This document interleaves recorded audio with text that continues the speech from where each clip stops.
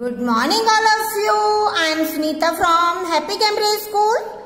I am your English teacher. My topic is sound of A. Sound of A में क्या करेंगे Fill in the blanks. Yes, fill in the blanks क्या है क्या होता है जो बीच में हमारा ब्लैंक बना हुआ है उसको फिल करना है। यहाँ मैंने आपको बताया हमें क्या फिल करना है।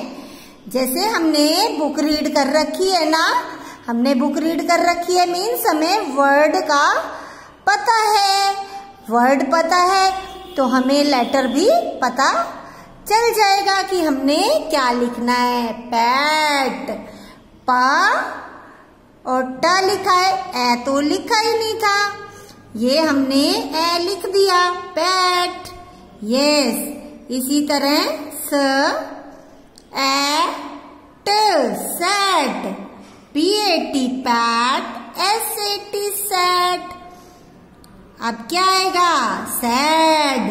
सैड में क्या आ रहा है? S A D sad. Lad. L A D lad. Head head में भी ए आ रहा है ना?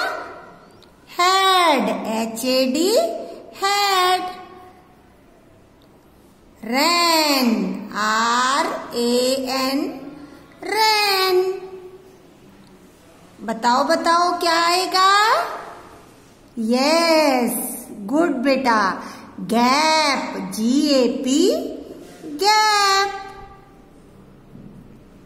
line के ऊपर लिखना है, नीचे नहीं लिखना। ओके बेटा।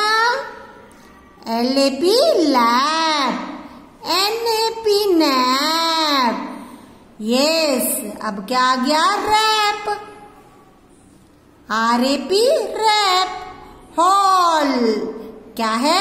Hall H A L hall tall H A double L hall हमने अब लिखने के साथ साथ बोला भी, जैसे pat P A T pat sat S A T sat sad पहले सैड बोलना है, फिर उसको एस ए डी सैड बोलना है।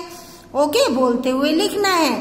L lad L A D lad had H A D head ran R A N ran gap G A P gap lap L A P lap nap N A P nap rap R A P rap hall H A double L hall tall T A double L tall अब हमने reading करी, अभी एक बारी once more